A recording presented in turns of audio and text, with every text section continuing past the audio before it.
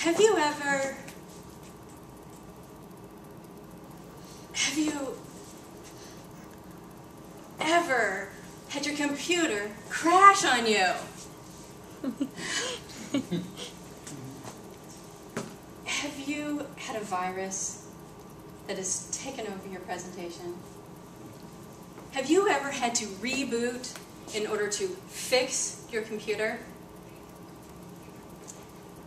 I've had this happen, and it's extremely embarrassing. It's also ridiculous. This is 2012, and this should not be how we expect computers to work. And that's why I'd like to tell you about a new operating system. It is called ZenActOS. Using ZenActOS, your computer will never crash again, and it will never be infected by viruses. ZenActOS is safe. It is secure, accessible, fun, and easy for people of all ages. When your computer crashes, it's not your computer's fault. Despite what you may have been told, it's not your fault either. It's also not your grandma's fault or your three year old's or whoever else was playing around on it. It's one thing's fault, and that's your operating system. I bet you're thinking, well, I'm about to buy Windows 8. That's a brand new operating system. Certainly I'll be safe, right? No. Whatever operating system you're using right now is based off of old technology. Every version of Windows, the core of it, the core of the software, the kernel, the design, is based off of technology from over 30 years ago. I bet you're thinking, well, I don't have to worry about that. I use Mac OS. Or I don't have to worry about that because I use Linux. Or I only use an Android. I'm safe. It's never crashed on me. I've never had a virus. Well, guess what? That technology is even older. It's based off of Unix, and it hasn't changed at its core in over 40 years. This is ridiculous. Everything else gets better, and OSs don't. What is the difference? A little dark there. Can I have lights? Whatever operating system you're using right now is considered monolithic. This means that it is huge. And when you're using a monolithic system, the majority of the code in the kernel, in the base, is in privileged mode, where anything and everything can read and write to it. And only this tiny little green area is user state, or the safe area. This is like thinking of your house as foundation. When you put your house on a foundation in a monolithic system, it's like having a foundation that is a city-wide slab of concrete. Looks really strong and stable, doesn't it?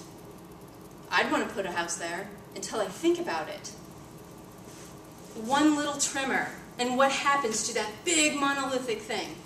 It gets a crack, and the crack expands. And then what happens? No matter how beautiful you've made your house, no matter what color you've painted it, it's going to crash, just like your computer does. Now think of a different type of house foundation, one that's made up of small squares of concrete with a tar partition in between each of those small squares. What happens when a tremor happens? It, nothing. It expands and contracts. Each, part, each section and the partitions will stop it and allow it to grow. If the worst happens and lightning strikes one of those partitions, what happens? A crack, but it stops at the partition and it does not grow and your house is safe. And that's what ZenActOS is. This is called a microkernel, where the majority of the code in the kernel is in user state, the safe area, and only a tiny little bit is in the privileged state. This is why your computer won't crash. What about viruses? I know you're thinking it. With a monolithic operating system, you are given an antivirus program which hopefully will find a virus, but it's a band-aid. It will maybe find it after the damage has already been done. And this is where ZenActOS is really interesting. We have a patent pending file system technology which will make it so your computer cannot possibly get a virus. It is impossible. Here's a little bit of how it works. Say you have a file and one program accesses it. Then it acts just like a normal file. Say two programs access it. Then it duplicates and you now have two files. Now say an evil virus accesses it. What happens? It creates a new file just for the virus and it keeps your version completely safe. And then the operating system gets rid of it, no problem at all. ZenActOS will also protect you from yourself. And when you save your file, you get a new version. But what happens when your cat jumps on your keyboard and wipes out your presentation and manages to press the save button? This happens to me. It's okay because your cat gets her own version. And you, you can go back to your safe version completely fine. Because ZenActOS is safe. It is secure, accessible, fun, and easy for people of all ages.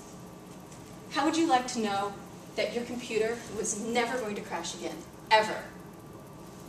How would you like to know that no matter what you do, no matter what you download, you'll never have a virus infect your files ever again?